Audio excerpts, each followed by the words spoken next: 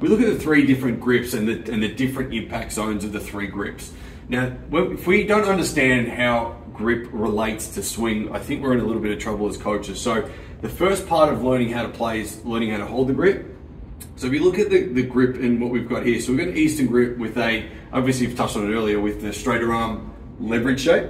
Um, we've got the semi-Western with a slight little bend in the leverage shape of the arm into a Western where it's a little bit more uh, bent. So, and you can see the different racket positions. What you'll also find that with the different grips is Eastern grip impact point will be slightly more in front of the body then a semi-western grip's a little bit further back and then into a behind the hip of the western grip. So there's so many different things that do occur from a grip standpoint as well as stances. So you'll see Eastern grip has a more of a neutral to closed stance. We've got a semi-open stance for our semi uh, semi-western grip and a western forehand obviously with a, a more open stance. It also affects your court position.